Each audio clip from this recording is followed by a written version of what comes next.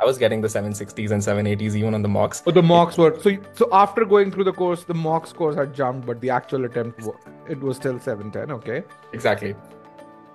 The only problem was what was happening in that exam hall, which is what I realized because if four to five to six mocks were giving you 750 plus scores, it shouldn't have happened there. That's what you had said as well. Once I got the 760, even then I was thinking of T15s at best. Spoke to my consultant and she said this is the right time to try a Kellogg. Who's who's the and consultant? Her name is Mansi Diwan. Uh, you might oh. not find her much online, but she's no, no. I, I know Mansi. She's from Delhi. I, I met her a few yes. times. Yes. Um, a yes. couple of our other students have gone to her. Yes.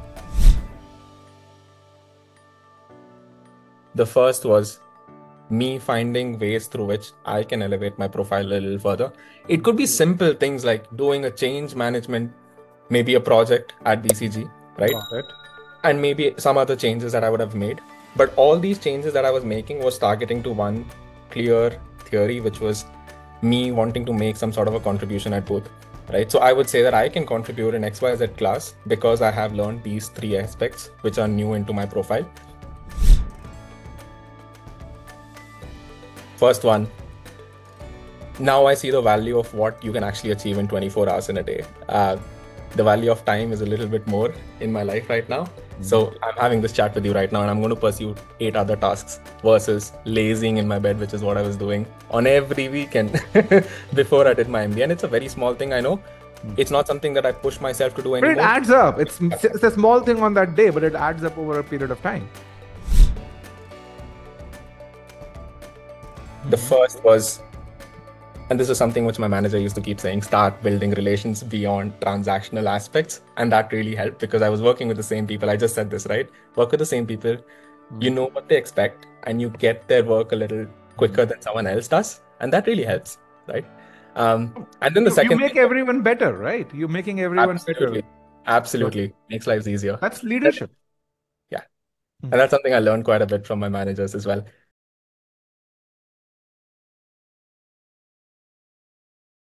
So, so welcome Shubham to um, this one-on-one. I won't, I won't call this a debriefing session, but but I, I kind of want to call this a career transformation journey so far, and it's still you know a journey in the making. So um and and and, and first of all, congratulations on um, on getting the offer at BCG. Uh, phenomenal offer. So today we want to talk about just three things. It's just decisions, decisions, decisions uh, during your life. Very briefly about the GMAT decision then we will talk about uh, how you approach admissions and the and and the admits that you uh, that you receive and how you chose booth. Then we'll talk. So that's kind of where I want to spend about 20 25% total of our time. And then we'll talk about the first year approach to internship and what did you do during internship to get this offer. Okay. So let's kind of get started. So so let's talk about that 760 on the GMAT you that you got with us.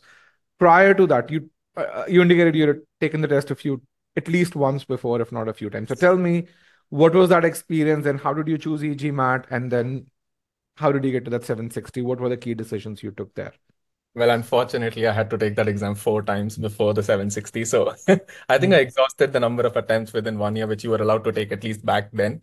Um, yeah, now, now it's about five, yeah. Yes, exactly. Um, started off with with about 680, if I remember. Mm-hmm. The month of August 2021. One month later, wrote it again, got a 680 one more time despite the preparation. Mm-hmm. Uh, that's where I decided I think I need to jump on to a more comprehensive test prep strategy. And that's where I came into EGMAT. Um, but okay, you choose the right test platform, uh, test prep platform. But if you don't do it the right way, it will not go well, which is why after just taking the Scholaranium, if that's what it was called, yes, I 660 despite all the prep. Uh, oh came back one more time. This time realized that I need to start from scratch. So I went through all the modules, went through all those learning modules. Oh, you went through the courses then, yes. Yes, that's where I restarted everything from scratch, uh, in depth as much as I could go, and then got a 710 after a couple of months. Mm-hmm. Um, and that's where I think I decided that I needed to just change or maybe fine tune one or two strategies because I was getting the 760s and 780s even on the mocks. But the mocks were so. So after going through the course, the mock scores had jumped, but the actual attempt it was still 710. Okay. Exactly. The only problem was what was happening in that exam hall, which is what I realized because if four to five to six mocks were giving you 750 plus scores, it shouldn't have happened there. That's what you had said as well. Um, and that's where I think, you know, one of those sessions which you were taking, uh, kudos to that, because during that you mentioned that a lot of us, while taking the exam, go into this habit of sitting for 10, 15 minutes on one question sometimes, just thinking because just thinking that it's a really difficult question and then just jumping across choices.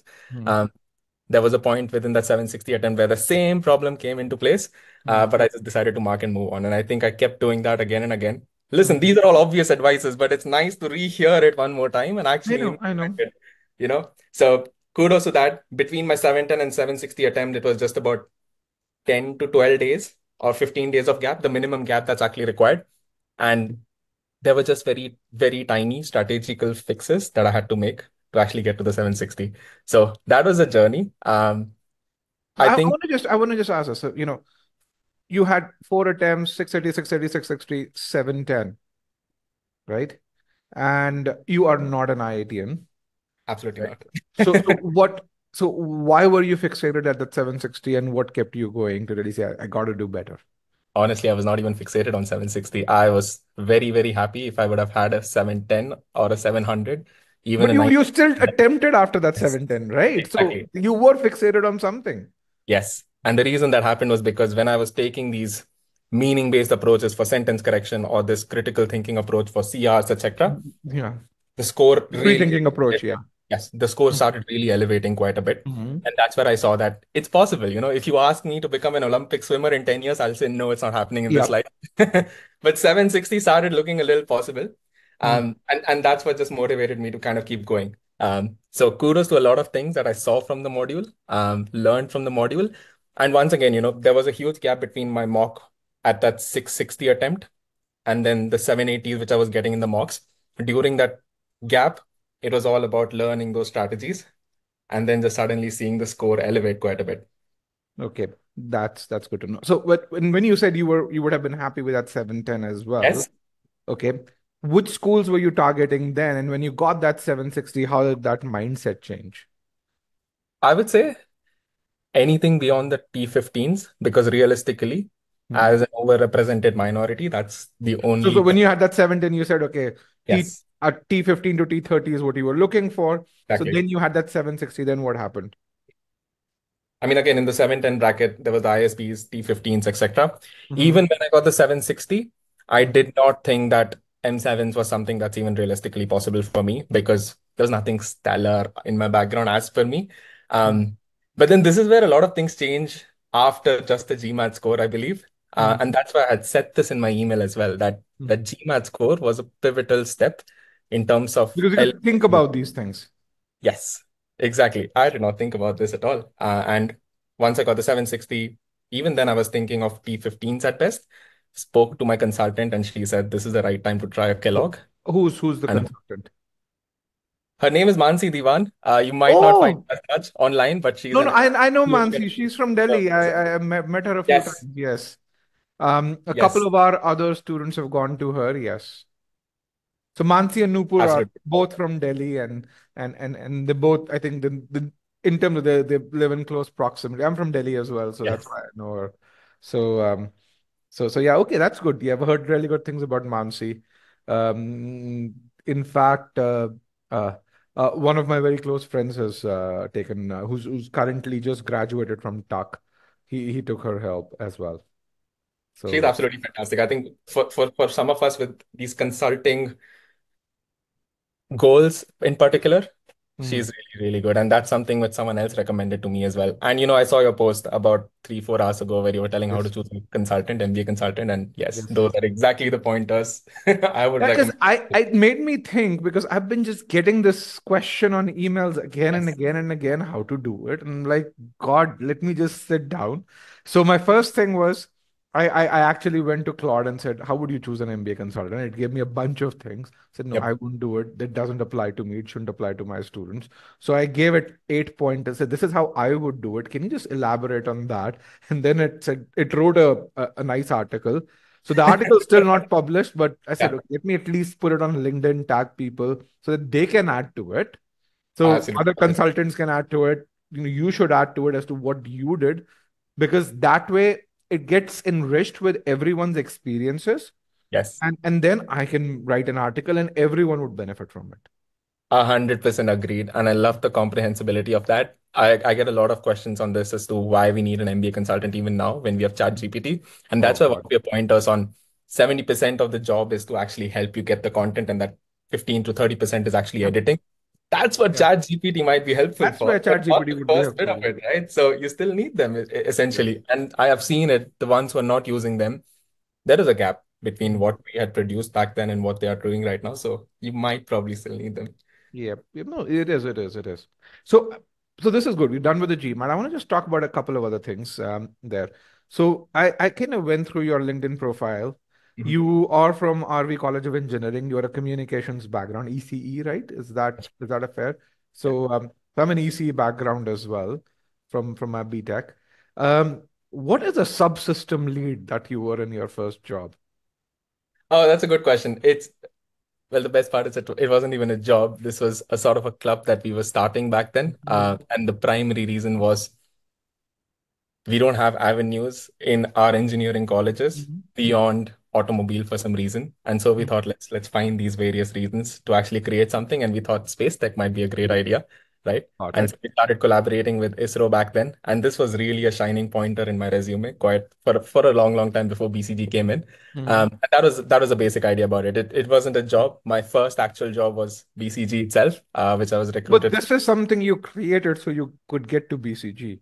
Yes. In some way. Uh, so you, you in you build this and say, let's kind of build this thing over here, collaborate with ISRO. That will give me good talking points, and and and that got you the junior data analyst position. That's right.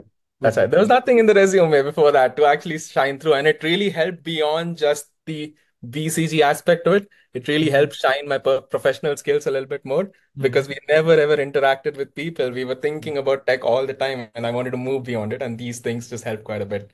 Got it. So then at BCG, you were about what, what four and a half years or so, right? Four and a half, five ish years.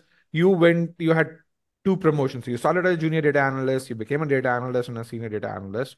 So tell me, I mean, it seems to be data analyst to me, but what's the difference between a junior, a regular data analyst, and a senior? And then how did you make those transitions? I think one thing that changes is you weren't managing people and you are managing people over time. Um, the biggest differentiator just beyond this was that you start working with the same set of people. Mm-hmm. They want to work back with you once again. Mm-hmm. And so you mm-hmm. know exactly what they want. Uh, you know exactly what the client wants as well. And it kind of eases the you. The client interaction also increases as the more senior you go. Okay. Absolutely. The higher you go up, yes.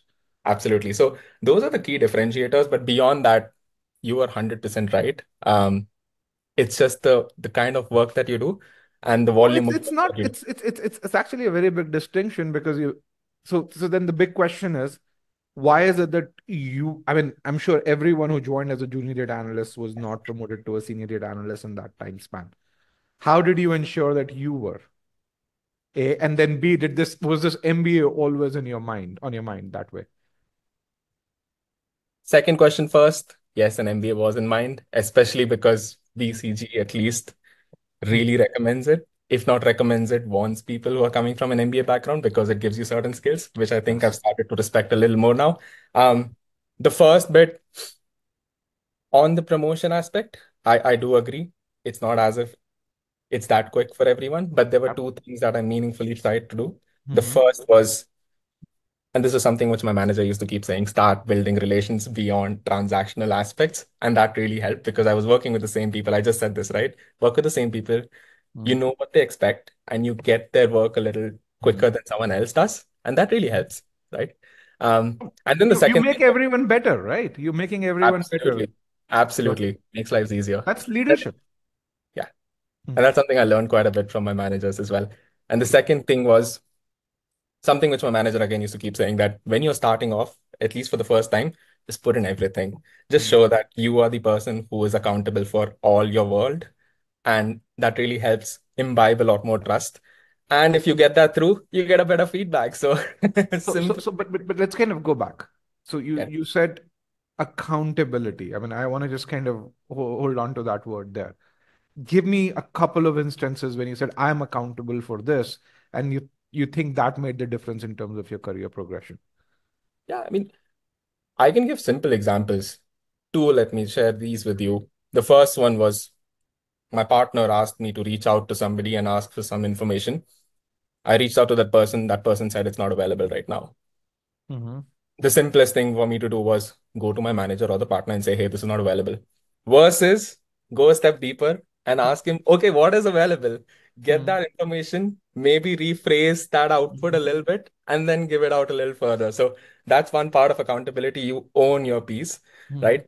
And then the second part is if the work you, you you get back something at least that's useful. Yes, exactly. You cannot go back. And... Sorry, this is I, I spent all that time, got nothing. You kind of figure out how to do that job again. Absolutely. And yeah. then the second piece of accountability is not really accountability, but the way you do it. Mm. Simple things like just communicating. My partner doesn't sit in India. He's sitting in the Polish office, the Poland office. I hmm. need to ensure that I tell him in the morning, these are the three things that I'm doing, right? These are the two areas I need your intervention by 1 p.m. Eastern time, mm. right? And by by the night, this is what I'm going to produce to you. These are the risks that I see in today's work. Mm. This ensures that he knows exactly what I'm doing. And that's where I think accountability kind of drives forward through as well. Um, especially on the intervention piece. It really helped him and me just elevate our our working culture a lot better. It also focuses, channelizes his, his effort. You kind of, as a team, your output is is much better, right? Then absolutely. Not just that. I mean, I would tell him very specifically, these are the meetings with the clients that I need you on, mm. right? And he really appreciated that because he hadn't seen this coming through from an analyst side. But this aspect got imbibed once again because the managers who gave me these recommendations and I did follow them. And this, in many ways, is also leadership. You know, you weren't managing people, but it's leadership. So, so I, I, I kind of also briefly, very, very briefly, I want to do this because I know this is not a part of our agenda. But, but you had all of these accomplishments. You, you, you've had these promotions. Then you did the GMAT. You had that 760. Then you went to Mansi. So, what value did Mansi add uh, in terms of your application? Because you got all of these phenomenal admits. Uh, you know, I'm going to say those again: Kellogg, Booth, Tuck. Um, Ross, Anderson. Am I missing something? And Booth? Uh, oh, I said Kellogg Booth. Booth. Okay, there you go. Yeah. All of them. You covered yes. it all. Okay, so what value did she add that that you got all of these admits? I mean, the only places you did not get in were Harvard, I think, or or Stanford, which were there were two that you didn't get in, right? The only one I tried and didn't get through was Wharton, unfortunately. Wharton, yes, sorry. You covered these all. Yes. I mean, there are a lot of these, yeah. so, like, so, so, so, so, what value did she add? Let's kind of come back to that question. Because I mean, that's the same question. You are a smart guy, right? If you think about it, great GMAT score, smart guys working at BCG. You had a consultant. And again, being a consultant, you kind of know the value that a consultant adds. But just to be very specific, where did she help? And I'm thinking of how to structure this. And I would say two things. First one was literally the structure of the way I'm putting things across, right? Mm-hmm. And the second thing is identifying relevant stories that I need to put there. Let because you just... had many. Of course, there are a lot, right? You've had 20 year, 28 years of experience. And there were certain essays. For example, I think the Kellogg essay was one of the toughest ones that I had to write. There was one one essay on values. And whenever there is a question posed about values, I'm kind of lost because I don't know A, what are the relevant values which that school, I mean, which which matter for that school, and whether I am the right person there or not. And this is where Mansi helped pick out things from my life, expand those a little bit better than I could ever do. Because the very first draft that I created on that essay, she said, let's get on a call. And I thought she's going to pat my back. And then she comes in and says, what on earth have you created? so there was a huge gap. And this is where it helps to have a consultant because they know exactly what goes into for each school and put that together, which is that first part, the structure bit together. Okay. I want to just ask another thing about Mansi. This is something that I've heard from a couple of other students, and I, and where they've said, "Hey, Mansi is someone who you can talk to, even about your girlfriend. If you've had a breakup, she is the person you go and open your heart up to." Is that true about her? I mean, I don't know if you had that, but is that is she that comfortable a person talking to? Is what I'm saying. I mean, I, I still talk to her about these things, so you're hundred percent right about that. Okay. Um, the good and bad part Booth was that she was available at 2 a.m. in the night as well. I say that bad because it's really bad for her. Bad for her. it yes. really worked really well for me. Yes, yes. And most of my other my other batchmates. There was one thing. See, I was always trying a Haas before I actually did, did both. And I did not have the TOEFL or the IELTS score on time. Uh, and I reached out to Mansi saying I might not do a Haas. And three days before the booth application, she says, Do you want to do a booth? And I said, It's not going to happen. And she said, Let's make it happen then. And it actually did, right? That's what I meant by flexibility, not just those two AMs, but she's really flexible in helping you realize and refurbish some of the things that you have to kind of ensure that you actually get to the best place possible. Perfect. Got it. Yes. Thank you. So let's now kind of, and, and I think just to summarize this, so sh- honestly, there are things that you can do, but when you have someone who's giving you a framework to to kind of approach these applications, then you're able to put in your best because it's still you who's doing the effort, but that framework truly channelizes your energy. That's right. That's that's I think 70 to 80% of it. The other 20% is making sure that you don't mess up at one or other places. So there's that checklist that comes in, yes. which I think is also critical.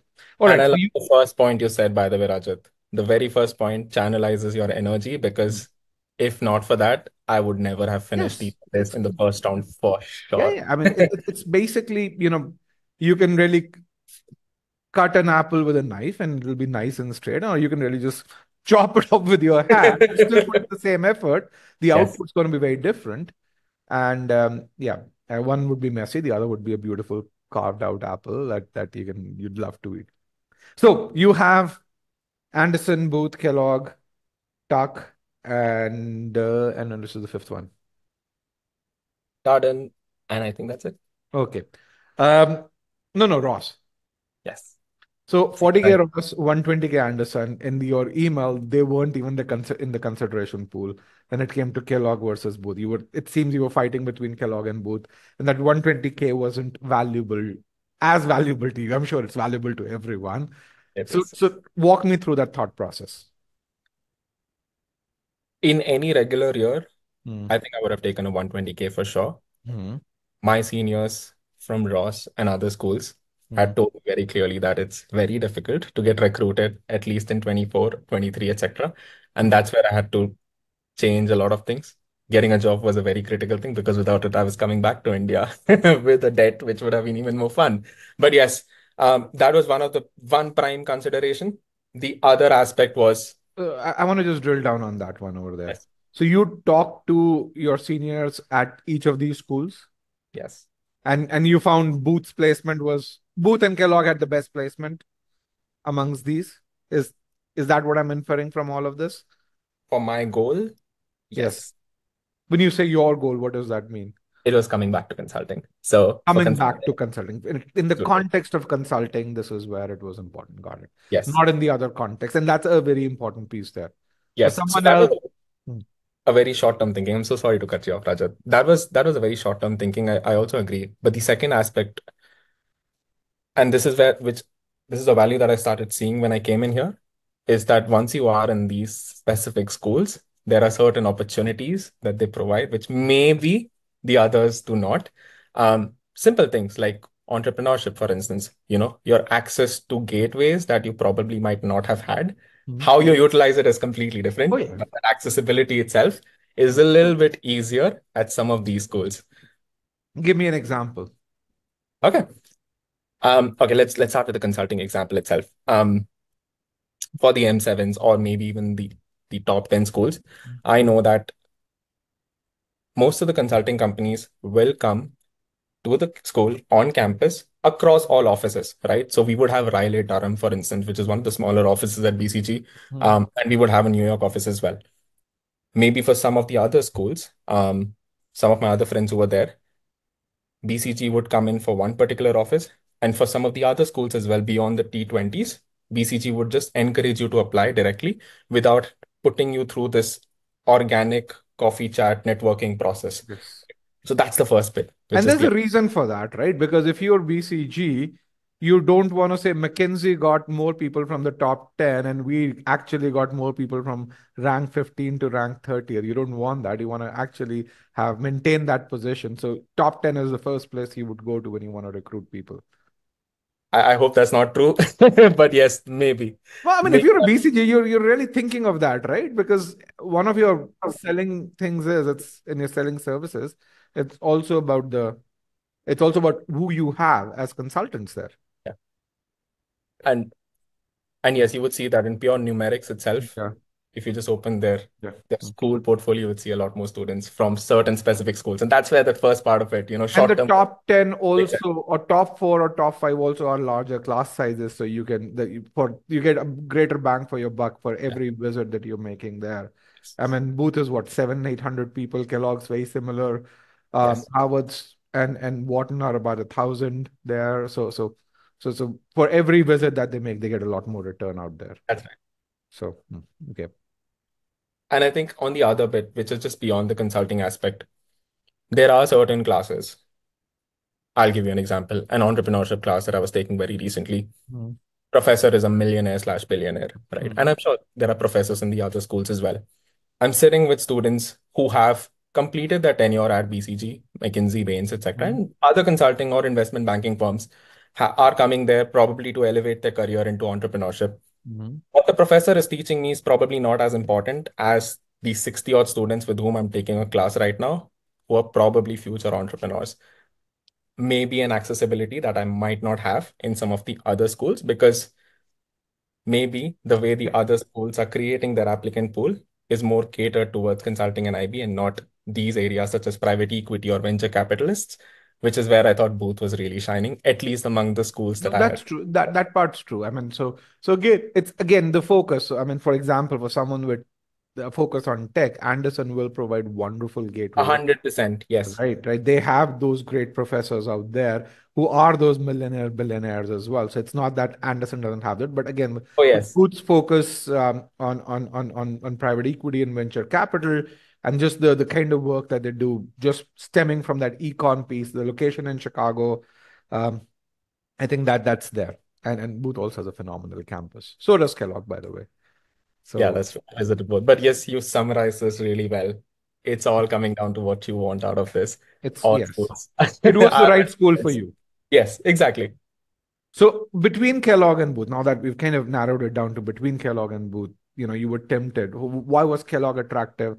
Why was booth attractive and how did you kind of gravitate towards booth? I mean kellogg was attractive because that's the that's the school i got in the first round. Um got that back in december was all but heading there mm. at least until june and that's where booth came in in the third round. Mm. got these oh, it was it was round three? Yes i got this all the other admits are round three? All the other admits were round one um except Booth Booth was something I applied in the first round, waitlisted in round one, waitlisted in round two, got this in round three. And between and, yeah. yeah. No, go ahead. Sorry. So Kellogg versus Booth. I was just covering one more piece. I think even between the first and the third round, I was consistently sending emails to Booth. Yeah, I, I, I, I want to come, come on that. So we will. I want to spend two to three minutes on that. But let's do Kellogg versus Booth and then do that. That's a very tough question. I'm trying to avoid that. No, I know that. and listen, anyone would say they are the same, and I would see very closely why. But once again, I'll come to two reasons. The first one, short term thinking again, consulting. I knew personally that a lot of students at Kellogg were either heading to consulting or tech Tech mm-hmm. was a slight bust. So those tech students were coming into consulting as well, which means that your denominator in terms of the pool that you're competing, is that the right word, with, is really high. You're talking about. You're competing with more students there. Yes, essentially. Mm-hmm. Versus at Booth, I they, they don't like using the word, but it's still a bit of a finance school, right? There is a finance prodigy that goes there. Um, so 40 to 50% of it. it is still have those Nobel laureates. Yes. Ask them to really let them go. And I'm sure other schools will take them if they don't like the finance world. so I knew that I'm competing with a much smaller pool, and that that was evident here. We had a smaller denominator in terms of consulting recruitment and a very similar numerator in terms of the number of students who made it to consulting for both the schools. And I had this comparison for the last year and the year before that as well. So I knew short term it's so, so, but but but who taught you all of this stuff to really make these comparisons there? How I mean, people said that it's a very tough year for recruiting. Um, And I think these were some of the nuances. Then I had to start figuring it out myself. Oh, but how? What? I mean, people said that, right?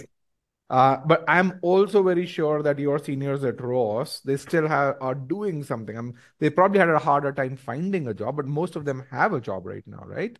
Yes, they do. Right? They probably struggled more than their seniors did. Yes, that's true. what I understand, you know, most people have a job now. So- Everyone has a job. I think it, you will most likely make it. You got that fully Yeah. right. So, but then, but what kind of forced you to to kind of build that framework to really, and it's the correct framework. Okay. So, but but I, I, and and who taught you to build that framework to really say, okay, booth from booth people, they're very similar class sizes. Yes. People recruit in these other areas a lot more. I know tech's going bust. So so I will be competing with more people at Kellogg versus at Booth. So which means the fact that I'm, even though I don't want to go into venture capital or private equity, I, Yeah. I want to go into consulting and, and so it'll be much I'll be much better off going into consulting from Booth versus I would say a lot of things were with the information that's available. We had Excels of what people aspire the against. data and- was there. But not Yes. everyone would do it. Okay. Then let's come back to the other one here. Yes. You you you had round one Kellogg, right? You Yes. had set your mind on Kellogg. You probably had paid some money as well, if you know Yes. it, right? So so what did you do first of all to get into Booth? That's let's first do that, and I'm going to ask the next question. So you said you throughout the you were writing them emails, right? absolutely. So what was it? I think my email structure was always two to three aspects. The first was me finding ways through which I can elevate my profile a little further. It could be simple things like doing a change management, maybe a project at BCG, right? Got it. and maybe some other changes that I would have made. But all these changes that I was making was targeting to one clear theory, which was me wanting to make some sort of a contribution at Booth, right? So I would say that I can contribute in XYZ class because I have learned these three aspects, which are new into my profile. XYZ is a class at at Booth's second year, first year or so. I, exactly. So if, if, for example, it's a pricing strategy class, Yes. right? I have done a new project on pricing strategy, and this is what experience that I can bring into that class. These are and the insights that I have, and blah blah blah blah.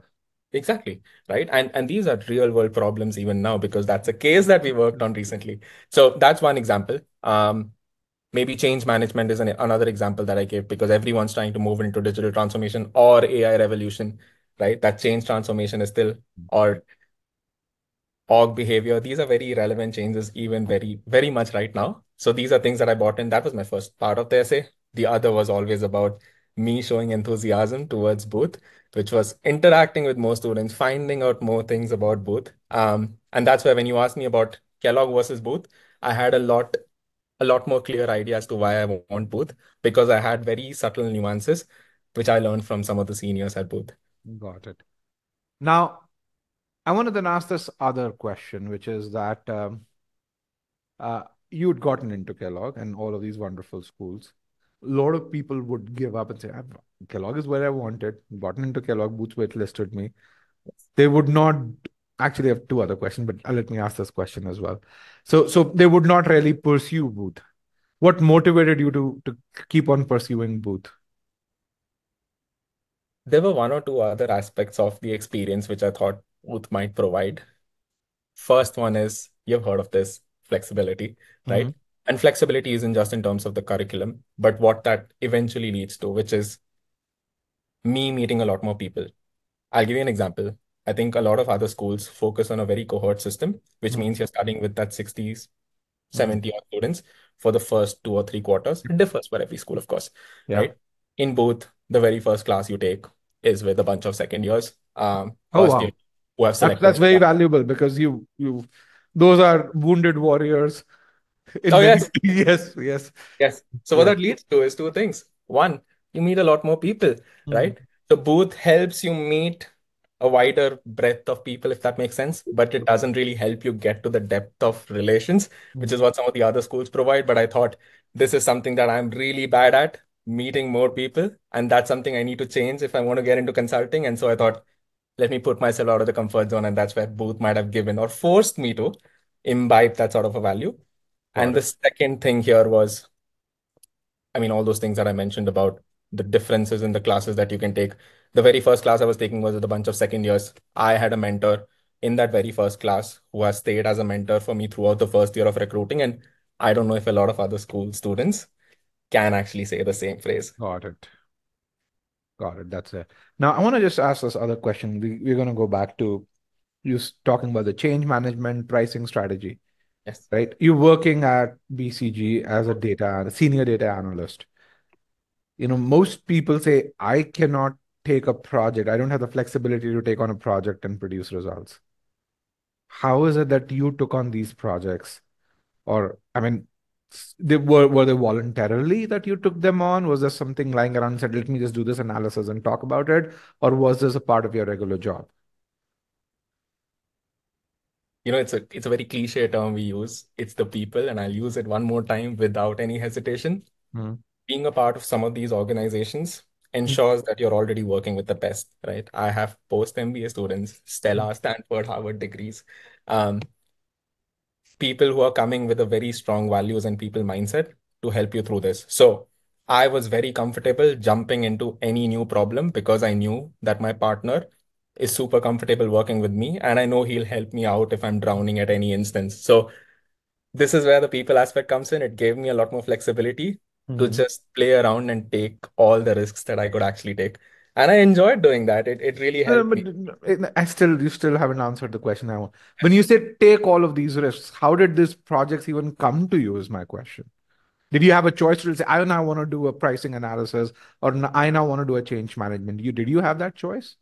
Well, throughout my time at BCG, I had just two managers, and I said this because they kept working with me repeatedly, and all of this was because all those things I said earlier, right? They were comfortable.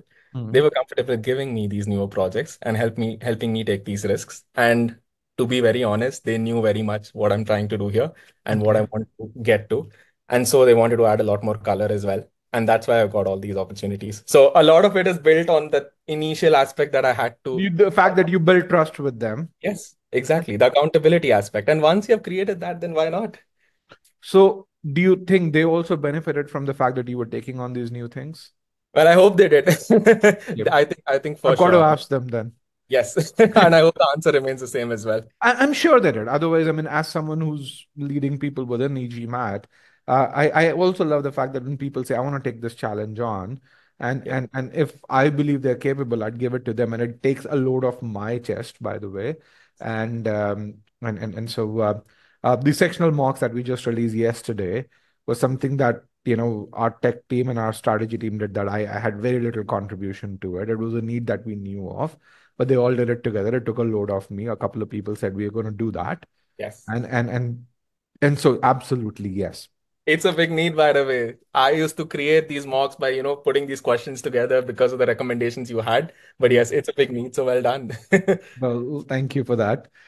Um just yeah so we have we don't have a whole lot of time i want to just ask this so what did you do during the first year to get this internship? And then I want to ask, what do you do during the internship to get this job? First part, it's slightly easier because from a process perspective, everything is laid out to you. And I think this happens across B schools. Consulting yeah. or even investment banking is a very organic process. Companies come in, they will tell you, they here is the consulting clubs. They tell you exactly how you're supposed to interact with them. What are the sorts of emails that you write? How do you convert that first it's a term we use crop circles, which is basically one company representative, six of you standing around him and having a conversation. How do you convert that conversation into a 101 mm-hmm. coffee chat? Right. And since US is still a very networking based economy, you need to ensure that they want to work with you as much as you want to work with them. It, and that should be right that way. I mean, yes. honestly, I wouldn't have it any other way anywhere else.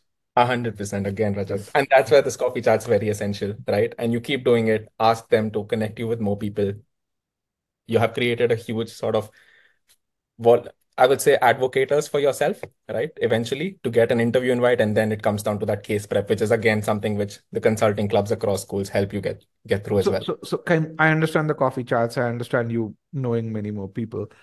You talked about the getting the interview invite. Yes. How does there's something missing between the coffee chats and the interview invite. Tell me what what goes on between these two things. I mean, it's you've got to apply, right? It's a great question. I mean, yes. And I would say a lot of it is the way you're doing these coffee chats alone. And even I, I think, undervalued the importance of the word coffee chat or this networking aspect. Two things. One is obviously the content that you're delivering within that coffee chat, which is talking about their work, a lot of personal aspects as well, just to bring out color in your profile as well. But beyond that, how do you stay in touch with this person? Because if I've had this coffee chat with them in the month of September or October and my interviews in December, hmm. how do I ensure they, they even remember me? That's true. That because others are also doing that. Yes. And that's a very key aspect. Reaching out to them. You know, for example, if someone's told me that they are having a client presentation three weeks from now for which they're preparing, can I actually remember that, note that down, and three weeks later reach out to them asking about that client presentation? These are very small things. And this oh, kind very of important things too. Absolutely. Thanksgiving break is coming in. Why not email to them about that very aspect itself, wishing their family, right? New Year's is coming in, do the same thing. So small, tiny aspects. And this is where organization helps. Organizing your work, organizing these chats that you've had, remembering what you have spoken about to them. So I, I want to just go from just the strategic piece to it to the tactical aspect. Which tools did you use to make sure you didn't forget this? Excel. pure Excel. Your Excel. Okay. I mean, truly analyzing the data analyst background and just saying, okay, reminder, I'm going to open this up and blah, blah, blah, blah. Yes. Okay. That, that's, that's, that's great. Okay. Now let's go to the internship. You get the internship, you're there for three months. How long did the job offer take to come and how, what did you do during those three months to convert that internship to an offer? And I think this is across all companies now. The job offer comes on the last day. Uh, okay, I, I, had no idea. Okay. Yes. Unfortunately, it comes on the last day, which means that for the two and a half, three months, you're all in, right? Yes. And it was for me by far the most challenging experience so far. I definitely saw that there was a skill gap between what I possessed and what they even expected at a bare minimum. But this is where these organizations are really professional about things. They do not come to you two and a half months later saying, please go home, you're not getting an offer. But they have these very weekly feedback sessions, check-ins, mentors, etc., that ensure that you are on the path and not steering away from it. So very first example was me producing some sort of a storyline for the client. Mm. The first work that I did, my my partner comes to me and says, you might want to increase the ambition of your work a little bit. And that really stung quite a bit because I put in a lot of effort for that. But that was the reality. Mm-hmm. And then they'll tell you what that difference in ambition actually is mm-hmm. and posing it together, right? The first, and this is one thing which I want to say, a lot of us, or maybe me coming from a tech background, the way I was used to working is I have a data in front of me. I'm going to analyze data, put it on the story that I want to carve, etc.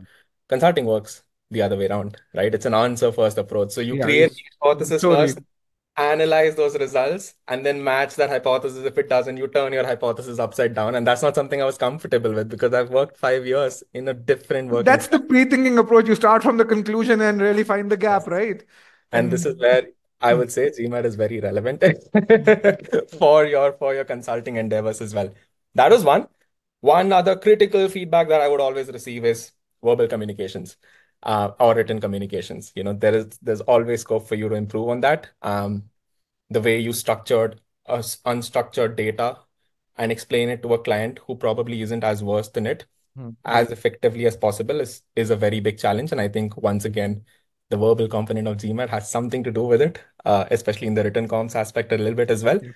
Um, and written comms is easy to take in, right? I mean, you have ChatGPT to help you create sentences a little better, but yes, yes, verbal is something that I still struggle with, as you can see right now in the conversation. So that's something that I want to improve on. And that's a feedback that I regularly got, worked on it, mm. hopefully fix it a little bit better. And that's where I got the return off. So and and this is very very valuable uh, what you really said and these are i mean uh, very honest confessions because uh, uh, you know you've already said this is where i this is how i got in this is where i lacked. These are the areas i needed to improve on. This is the kind of feedback i got. And and you worked really hard towards doing that. And and hopefully you've Im- you improved enough that you got the offer and you said there's still headroom for me to improve in those okay. areas. And and that's that's that's really um that's commendable of you. Um uh, over there. So now that you so and which is very very different from you know when you think about consulting a lot of us look at these these beautiful presentations that which which I mean, this, just seem wonderful, but it's way more about the story than just the representation. The representation comes after the story is formed, is what you're telling me. First form the story, then look at what you have, and then you know the gap is where the representation comes in there. So you're gonna go back, start with the fall semester. Um, you have the job. You um actually have still have a year to go. What are you gonna focus on? Two things come to my mind. I keep Hmm. speaking in twos, you know. Two things come to my mind. The first is the leadership aspect itself. Hmm. I think I have it in me to become a very decent consultant, but a very, very bad manager right now. Hmm. Um, and this is where I think I can polish it a little further in my second year by ensuring that my sec my first years, the incoming students get these offers in the first place. I am, I think I know a little bit more than them on these very aspects, and they'll get there in two months when I explain it to them. So this is where the leadership aspect hopefully polishes itself a little further. The second aspect is a feedback which I continuously got, which is verbal communications, um, maybe getting into public speaking a little bit more or persuasions, etc. Now, if you have noticed in these two aspects, not for once have I mentioned finance or marketing, etc. Agreed, agreed. and there's a reason for that. Um, again, one of my seniors I spoke to had told me that we are in an advent of ChatGPT. Um, these knowledges are actually very well available outside. Yes. So take courses that change your worldview because I can very well Google or search on ChatGPT exactly the terms I want to find the answers to, and Yes. it'll give me a better answer than what I'm already aware of. So Absolutely. softer skills, and this is something I used to make fun of uh, before I got into the MBA, but I think I see the value in it right now. But but honestly, even when you're saying them as soft skills, in which they are, without a concrete story and an ability to present that story, those soft skills are not as as useful. But but the fact is, you you already possess those those hard strategic thinking mindset pieces. It's more about making sure that others also get the same vision that you want to communicate. Now, I want to ask this. I mean, um, and again, I'm not looking for a firm number, but you you would have spent what one to two crores for your MBA? Yes, around. See, this is where you will make me sweat quite a bit, but it's around to $50,000 is what I'm thinking. 250k. Yeah, that's two crores. Yeah, two crores, 2.15 to to be more precise. Um, Yes. and and if you were to, to kind of take this look back, take a look back at, you know, year back, where um, and I'm sure you would burn something back with the internship. Those salaries are the internship Yes. uh that, that the stipend's pretty good. But but you know, you've had a year, right? You have a job offer, I understand. But in terms of the learning that you've had in that year, you've spent about 120 grand to get that learning. What would you say is the value of that learning for you? I mean, how, as a person, Shubham, how much have you grown during this year? And and throughout this process of preparing for the GMAT, doing Yes. those application essays, going through that first year grind, getting this feedback from from from BCG. I mean, as a human being, when you were to really say, on one hand, you'd see that loan that you're holding, on the other hand, you say, I'm a very different individual. How would you weigh these two things? I, the way I look at it, you know, first 27 years of my life versus that one year at MBA, Yeah. what has changed? Two things once again. First one, now I see the value of what you can actually achieve in 24 hours in a day. Uh, the value of time is a little bit more in my life right now. So I'm having this chat with you right now, and I'm going to pursue eight other tasks versus lazing in my bed, which is what I was doing on every weekend before I did my MBA. And it's a very small thing, I know. Mm. It's not something that I push myself to do But it anymore. adds up. It's it's a small thing on that day, but it adds up over a period of time. percent again. You know, it's not something that, like I just said, I'm not forcing myself to do it. It's just a habit that's created for the last one year. The second thing, which I feel is very critical for me, is I disliked speaking to people. I disliked meeting people altogether. I was very comfortable Mm. closing my door and maybe staring at a wall. Mm. That's something that's changed quite significantly. And the reason I say this is not just because of me having more friends, but how much more I've learned from their own experiences. Mm. One simple example, I was speaking to somebody from Deloitte. He was sharing me his experiences on M&A strategy and Mm. how change transformation actually works. And I could actually implement that on my BCG case very recently in some shape or form. So small things that actually add up to a very, very huge value, isn't it? So It does, it does, yes. there you go. Okay. So yeah. Well, thanks, Shubham. That was all. It was phenomenal talking to you. It's it's it's I've I've spoken to a lot of students who've just gotten in, but um, very few have gotten in after um, after the first year or so. But it was it was really good talking to you. Um, I think I, I can honestly see as an individual how much you've grown and um, and and and and how confident you've become. I'm sure you weren't as confident uh, about a year and a half back Yeah. uh, when you had that 680 score as as you are now. But but and I can really see the transformation in you. So so kudos to you. Good luck and and do come over um, when you're in Bangalore next. Absolutely, Rajat. Okay. There are two things I want to say before going away. First one, I've said this before, the 760 was the pivotal in helping me shape this, right? That was by far the toughest phase that I've had to go through. Not getting into B school, not getting into BCG, and not converting the offer. That 760 was the toughest journey, and thanks to GMAT for helping me. And the second thing is, I think you're all doing a great job because I know the structure of GMAT's changed, and I still see success stories coming out. So well done to you and your team so far. Well, thank you. It's been a lot of work. Um, I know. Uh, I, but but it's honestly worth it. Yesterday I was there at the MBA tour. I saw students come in. Um, there's a few who were really really well prepared. There are others who actually didn't have any idea, and it was, really. I mean, after ten years, also it's it's rewarding to to to really guide them.